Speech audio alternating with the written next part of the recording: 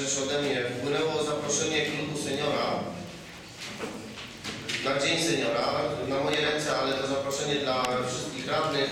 Mm, Klub Seniora Rady Żłowiczu zaprasza na uroczystość Dzień Seniora, która odbędzie się dnia 10 września 2015 roku o godzinie 14 w Łowickim Ośrodku Kultury e, Sala Widowa. Po części Zaproszenie może tak, no, za- zaproszenie, e, z zaproszeniem można się zapoznać e, w biurze, e, w biurze Rady, no i serdecznie wszystkich e, zapraszam.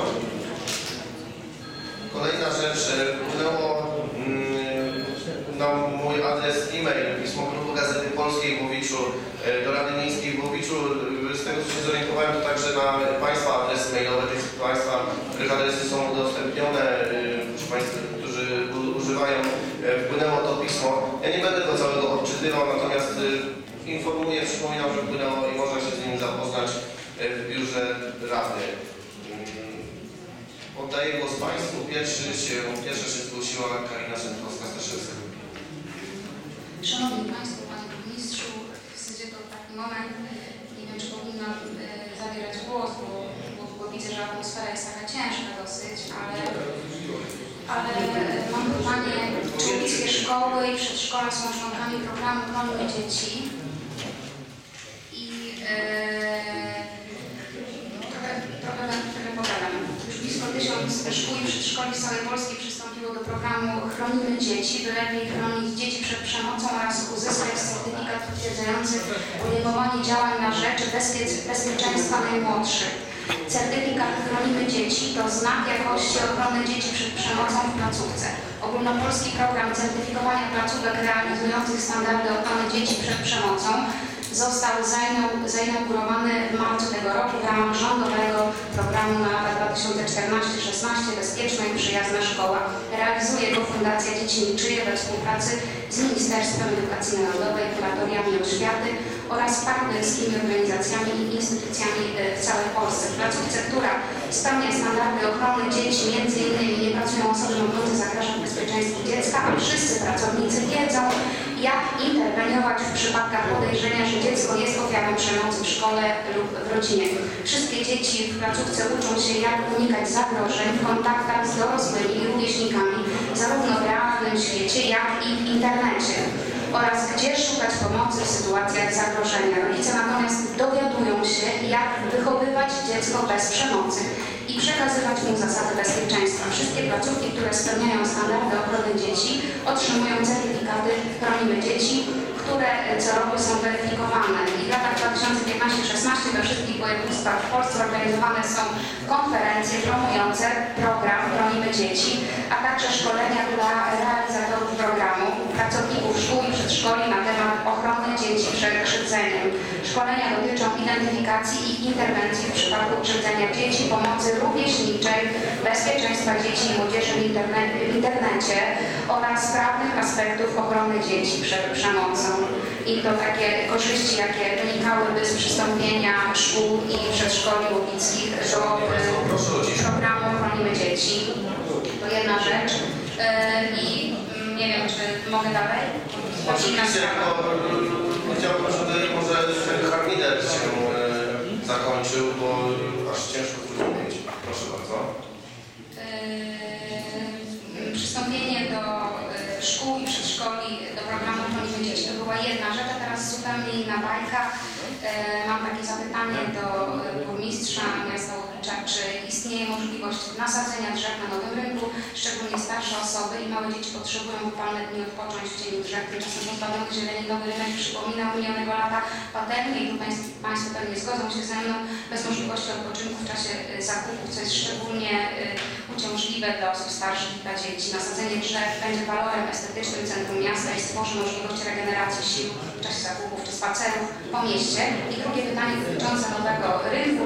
Czy istnieje możliwość częstszego opróżniania koszy w centrum miasta, e, ewentualnie zwiększenia ilości koszy, ponieważ zarówno gołębie zamieszkujące nowy rynek, jak i silny, silny, silniejszy wiatr powodują zaśmiecanie tej części miasta, a przecież to jest e, centrum. E, I zupełnie inna sprawa, w związku z małą ilością miejsc parkingowych na nowym rynku mieszkańcy i właściciele sklepów w tej części Łowicza proszą o zniesienie postoju taksówek, ewentualnie wyznaczenie czasu postoju taksówek po godzinie 18 w tygodniu, od y, 14 w sobotę i zawodowo w niedzielę. Kiedy zamkniecie Państwo oczy i pomyślicie o starym rynku, widać ratusz, ale kiedy zamkniecie oczy i pomyślicie Państwo o nowym rynku, to Państwo pewnie nie zobaczycie oczyma wyobraźni postoju taksówek. I tak też jest, kiedy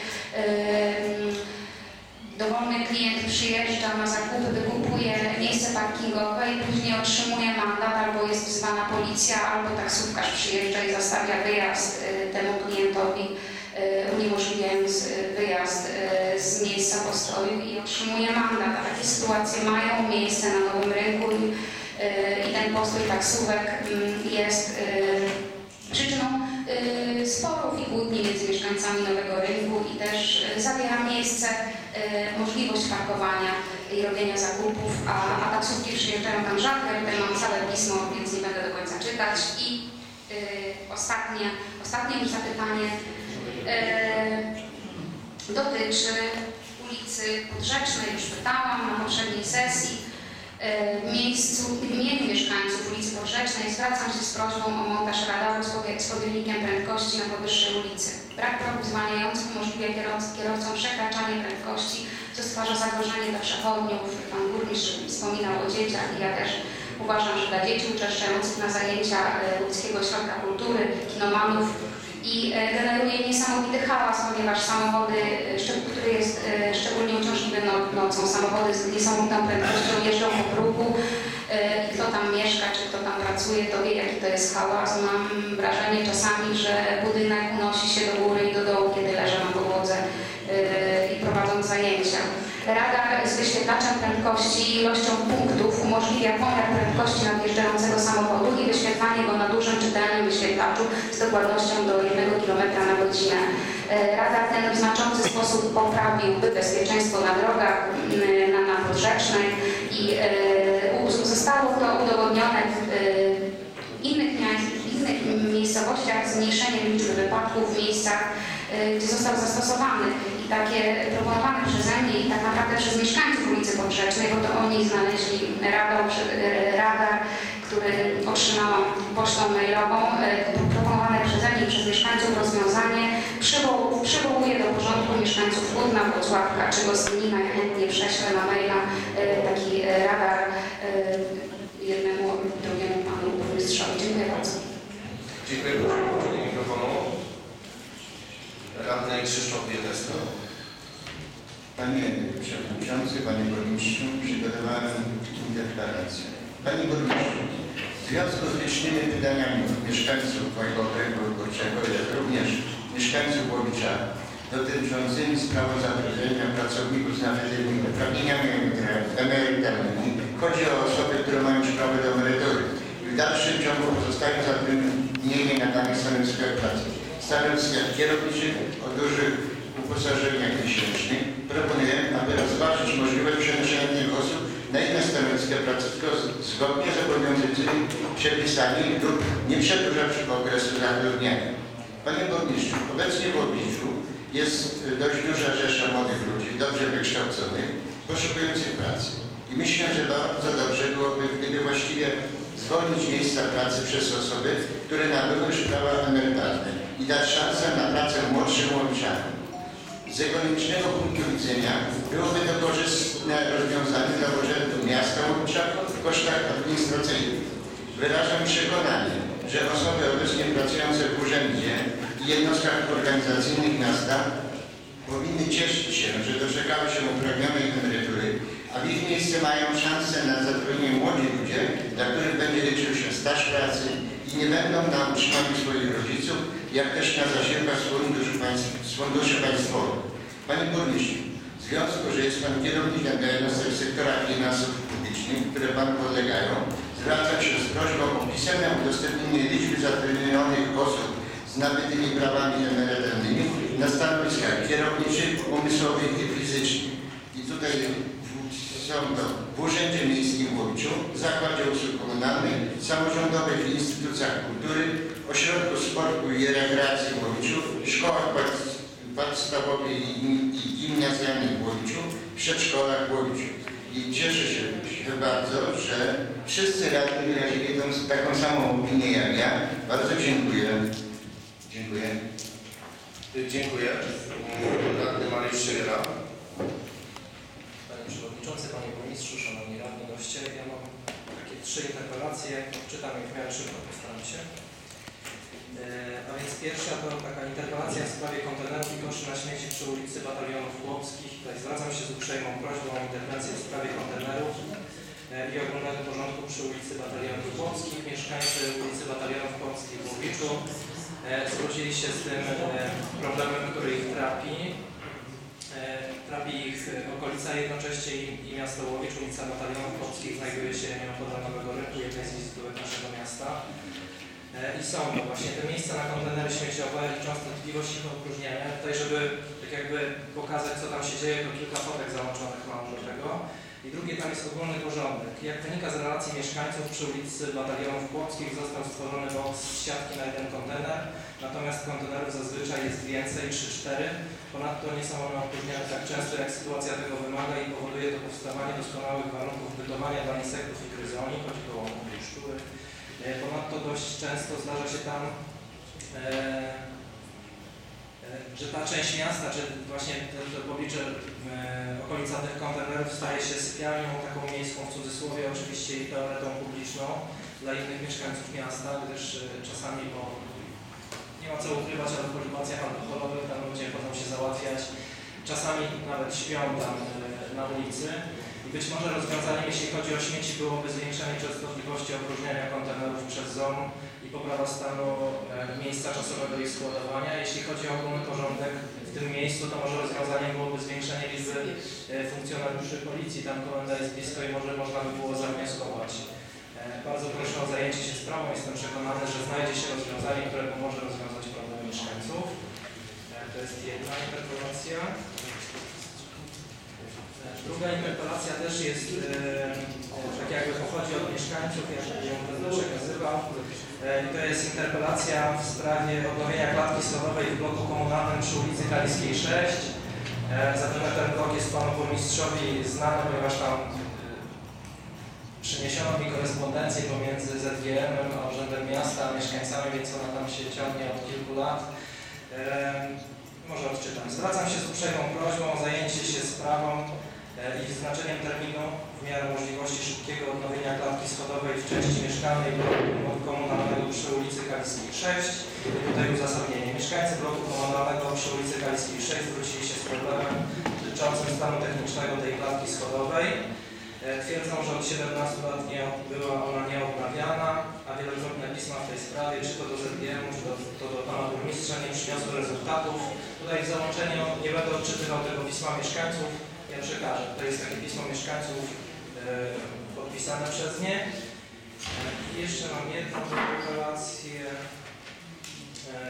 I to jest interpelacja w sprawie umowy PK łamane na 129 kreska łamane na 2015 oraz SS przy łamane na 46 kreska łamane na 2015 e, w sprawie i to jest tak. Zwracam się z uprzejmą prośbą o udostępnienie i przesłanie w formie elektronicznej na mój adres mailowy maruszewina.pl obu tych umów oraz proszę o uzasadnienie wyboru wykonawcy umów oraz konieczności realizacji w podziale odrębnie na umowy. E, To są umowy zawarte e, e, na nagrywanie ogólnie, e, krótko tak powiem. E, I te umowy zostały zawarte na łączną kwotę 25 700. Nie jest to kwota mała. Mieszkańcy miasta zainteresowani są zakresem prac określonych w poszczególnych umowach oraz uzasadnieniem nie tylko wyboru wykonawcy, ale również konieczności realizacji zadań z nich wynikających. E, I to wszystko. Ja przedłożę wierszy. Dziękuję. Proszę o włączenie mikrofonu. E, Kolejny o, e, Wójcik, proszę bardzo. Działa, Szanowni Państwo, dziękuję. E, Trzy rzeczy. Pierwsza, po raz kolejny zwracam się z uprzejmą prośbą na naprawę starych odcinków ulicy Wiejskiej i załatanie dziur ulicy Czajki. Nadmieniam, że ulica Czajki była ujęta w planie napraw ulic po okresie zimowym. Za pozytywne załatwienie prośby sobie dziękuję. Druga sprawa, e, w związku ze zna znaczącym wzrostem wydatków naszego miasta na dofinansowanie pobytu dzieci w rodzinach zastępczych i placówkach opiekuńczo-wychowawczych zwracam się z uprzejmą prośbą o zatrudnienie przez Miejski Ośrodek Pomocy Społecznej kolejnego asystenta rodziny. Przypomnieć należy, że asystent rodziny to osoba, która wspiera rodzinę biologiczną w przezwyciężeniu trudnych trudności życiowych związanych z opieką i wychowaniem dzieci. Funkcja ta została stworzona po to, by jak najmniej dzieci było umieszczonych w pieczy zastępczej zarówno tej rodzinnej, jak i instytuc- i instytucjonalnej. Ponadto zatrudnienie dodatkowego asy- asystenta rodziny jest uzasadnione także dlatego, że Ministerstwo Pracy i Polityki Społecznej każdego roku ogłasza konkurs na dofinansowanie wynagrodzenia asystentów zatrudnionych przez ośrodki pomocy społecznej. To jest 100% kwoty, jak dobrze pamiętam, do 2,5 tysiąca złotych brutto. Dodać należy, że według danych Ministerstwa Pracy i Polityki Społecznej wydatki gmin na ten cel wyniosły w 2014 roku 106,8 miliona złotych. W roku 2013 wydatki te wynosiły 49,5 miliona złotych, więc wzrosły one ponad dwukrotnie. Wydatki te można ograniczyć poprzez efektywną pracę z zagrożonymi rodzinami biologicznymi. W związku z tym zatrudnienie drugiego asystenta rodziny jest w pełni uzasadnione. I trzecia e, sprawa, Szanowni Państwo, no okazuje się, że interpelacja zgłoszona jest nie, no, nie, nie doczekuje się odpowiedzi, w związku z tym no, chcę ułatwić e, odpowiedź na moje wcześniejsze zapytanie. Zwracam się z uprzejmą prośbą o odpowiedź na następujące pytania. 1. Ile wynosi zadłużenie klubu sportowego Pelikan Łowicz wobec miasta Łowicza? 2. Jak realizowane jest porozumienie zawarte między miastem a klubem dotyczące spłaty całego zadłużenia? W tym miejscu należy przypomnieć, że zadłużenie wynosiło ponad 500 tysięcy złotych. Władze klubu zobowiązały się do spłaty zobowiązań w wysokości około 15 tysięcy złotych miesięcznie.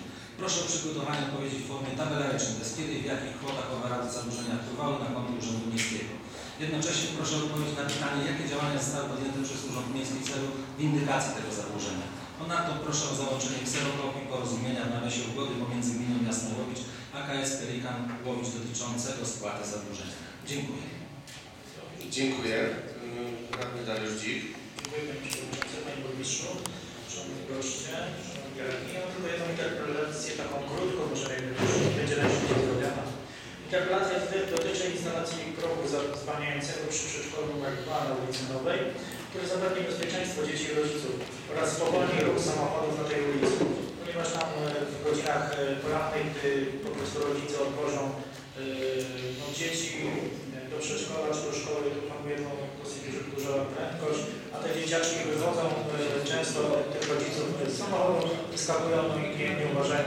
Po prostu przydałby się też ruch. Dziękuję. Dziękuję. Radny Krystian Cipiński. Szanowni Państwo, postaram się jak najszybciej, już nie będę odczytywał treści interpelacji, tylko powiem pokrótce o co chodzi. Interpelacja dotyczy renowacji nawierzchni zakupu i montażu nowych elementów skateparku w Łowiczu oraz zmian, zmiany obowiązującego na nim regulaminu. Interpelacja składa się jakby z trzech części. Pierwsza dotyczy uzupełnienia licznych ubytków nawierzchni, bo takie są. One stwarzają zagrożenie dla osób korzystających ze skateparku. Ponadto chciałbym prosić również w imieniu osób korzystających właśnie z budowy Ognińskiego Parku o zakup e, i montaż Tam jest sporo przestrzeni, już nawet są pierwsze odpowiedzi, co tam mogło być. Chodzi o tak zwane fanboxy, takie nieduże elementy, a na pewno atrakcyjną tą przestrzeń. No i trzecia rzecz to e, aktualizacja e, regulaminu. W regulaminie jest zapis o niekorzystaniu e, ze skateparku przez osoby poruszające się na rowerach. Domyślam się, że chodziło o normalnych rowerzystów. Z kolei no, środowisko skaterskie to również i osoby poruszające się na BMX-ach. E, oni tam korzystają z tego skateparku, jednak no, w tej chwili nielegalnie, więc wypadałoby ten e, regulamin zaktualizować. Dziękuję serdecznie. Dziękuję. Radny Jerzy Stupiński.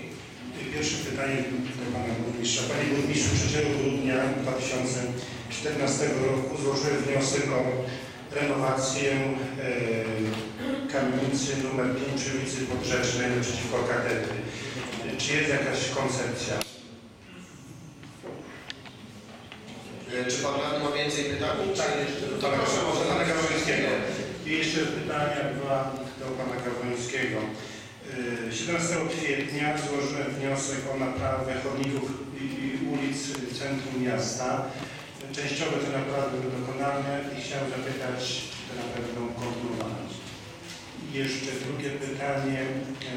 E, Na Wadej jest ścieżka pieszo-rowerowa ona troszeczkę tam się zaczyna, tak powiem, rozjeżdżać e, obsuwają się krawężniki, spadają kostki, czy e, jeszcze jest czas gwarancji. Dziękuję. Dziękuję. Czy panowie chcą teraz odpowiedzieć, czy pisemnie po prostu? Ja powiem, y, wyjaśniałem panu, że jest to kamienica y, tylko w administracji ZGM-u. Miasto nie jest właścicielem tej nieruchomości i miasto właściwie nie może remontu dokonywać. Tam dokonaliśmy tej remontu y, no, relacji tylko zewnętrznej ulicy Poprzecznej. No i tyle. A, ale ja będę rozmawiał z panem dyrektorem i z Niką, żeby tam może też ten mur brzydki usunąć i coś tam poprawić. Panie burmistrzu, Może tam zawieść siatkę budowlaną limitującą, nie wiem, okna, drzwi. Nie byłby to duży koszt. To jest naprawdę miejsce szczególne, bo to jest naprzeciwko głównego wejścia do katedry. Pan, pan burmistrz albo pan naczelnik chcą jeszcze odpowiedzieć? Pan naczelnik.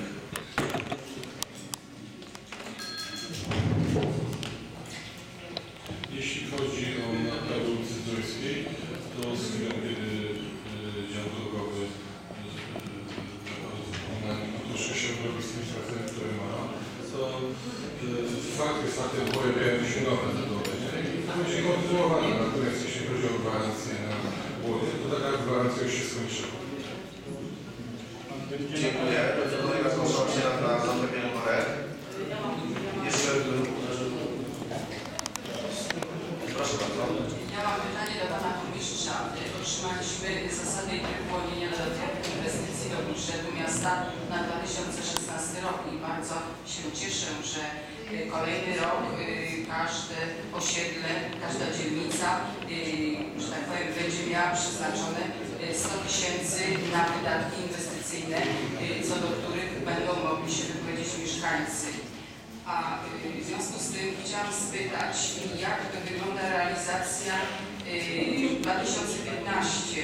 Jakie y, zadania inwestycyjne jeszcze są w trakcie wykonywania, będą jeszcze wykonane? Ja mam świadomość, że mamy dopiero sierpień, a przecież budżet się rozkłada na y, cały rok, ale po prostu y, chciałabym na tą chwilę poprosić o krótką informację. Dziękuję. Pan burmistrz chce odpowiedzieć? Tak, na y, te ogródki na Starzyńskiego, tam na osiedlu y, Kaliska, y, Nagórka, Mickiewicza, na Ułańskiej, przy zespole szkół z oddziałami integracyjnymi, to wszystko będzie wykonane. Będzie wykonana przez powiat część ścieżki pieszo-rowerowej na ulicy Gryckiego. Właściwie już przystąpią do przebudowy parkingów takich wewnętrznych na osiedlu Kostka. Y, Będzie wykonana inwestycja na ulicy Dolnej. Będzie zrobione to, co zaplanowaliśmy na Nowym Rynku z, y, no szczęściowo wnioskowaliście Państwo tam o, Pani Radna Katina wnioskowała o drzewa. Myśleliśmy, jeżeli nie w tym roku, o takich koszach y, zieleni, y, ponieważ y, no, to nie jest taką rzeczą prostą posadzić drzewo na nowym rynku. Teraz po tej yy, rewitalizacji, która się odbyła. I chyba zamknięty temat. Dziękuję. Radna Zandek Ross. Panie burmistrzu, wywołał mnie Pan do odpowiedzi. Ja zapytam o budżet partycypacyjny z 2014 roku. Ludzie, mieszkańcy pytają, jaki odcinek byłby zrobiony w tym roku jeszcze? Czy jest w ogóle projekt wykonany? Jest to jak Państwu powtarzałem, starostwa, droga starostwa i pobocze też. I zwróciłem się do starostwa, przekazaliśmy dotację, to jest 100 tysięcy złotych na ten budżet. Rozmawiałem, będę jeszcze rozmawiał z panem starostą, otrzymałem zapewnienie, że Za tę jeszcze częściowo zwiększoną kwotę już z funduszy starostwa starosta nie określił, jaką będzie ta inwestycja w tym roku wykonana. Dziękuję. Pamiętajmy no Państwo, ja Państwu mówiłem o budżecie na przyszły rok. O tym, że zastanawiamy się nad takimi uwarunkowaniami, czy plan zagospodarowania pozwala, czy mamy grunt, czy mamy pieniądze, ile to będzie kosztować. A w takiej sytuacji, gdy wnioskujemy o inwestycje na nie swoim gruncie, mimo że dajemy pieniądze i zgłaszamy to bardzo wcześnie, bo na początku roku, no to później, no ja nie mam jakiejś takiej możliwości, żeby zmusić starostwo do wykonania tej inwestycji. Yy, rozpoczęło starostwo inwestycję, o którą wnioskowałem do starostwa, to jest ścieżkę pieszo-rowerową. Yy, budżecie partycypacyjnym, ona pojawiła się w trakcie budżetu ale przy Jana Pawła II i starostwo ją realizuje. Mam nadzieję, że gdy skończy, przystąpi do inwestycji na ulicy Lickiego. Dziękuję. Kolejny zgłaszał się radny Krzysztof Olko. Panie burmistrzu, proszę o wyłączenie mikrofonu.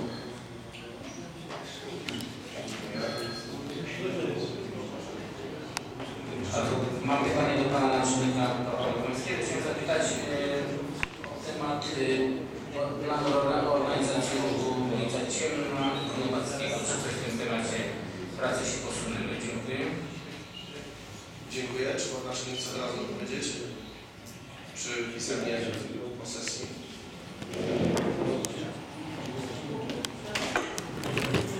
Jeśli chodzi o e, ulicę Ciemną, e, o- chodzi o parkowanie, tak?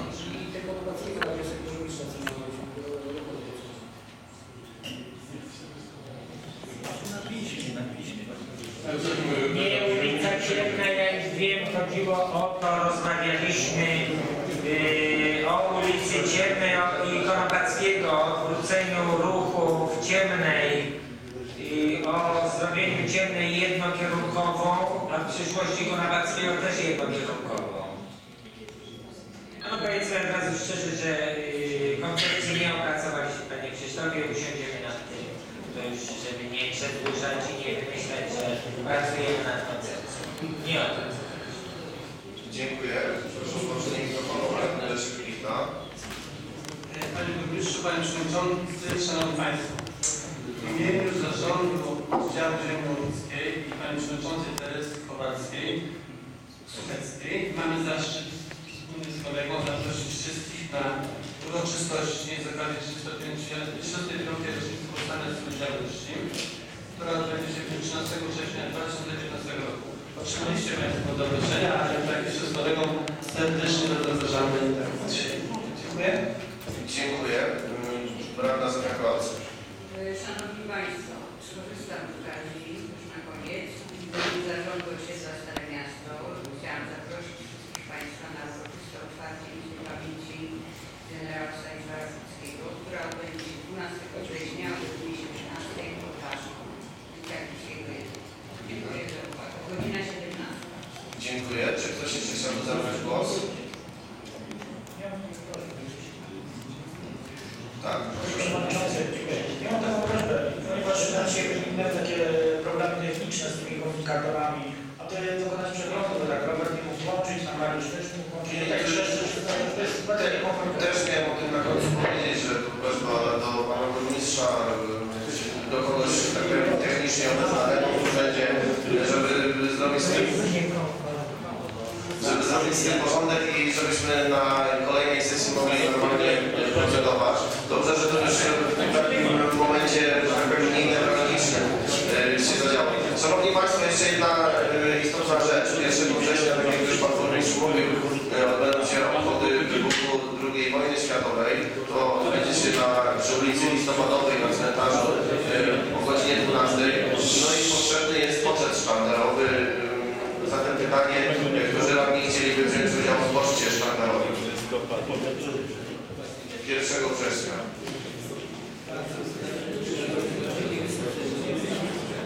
No jest troszkę e, rozumiem, że będzie ciężej. E, Być może jeszcze będę dzwonił e, poradnych e, i po prostu proponował e, osobno to, żeby wziąć udział w kursie szlagierowym.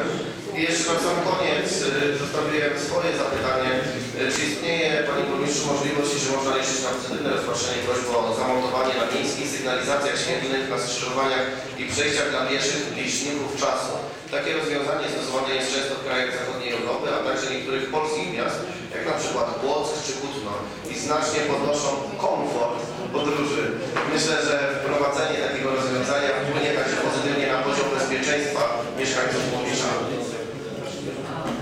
Dziękuję. Na tym e, kończę szóste interpelacje, zapytania, sprawy różne. Przechodzimy do punktu ósmego. Następna sesja planowana jest na dzień 24 września, godzina 12. Z tematami informacja o wykonaniu budżetu miasta Łowicza za półrocze 2015 roku, informacja o stanie realizacji zadań oświatowych w gminie miasta Łowicz za poprzedni rok w tym o wynikach sprawdzianu po szkole podstawowej i egzaminów gimnazjalnych. Yy, informacje o planowanych, o planowanych posiedzeniach komisji. O, ferworze walki chyba się zagubiłem.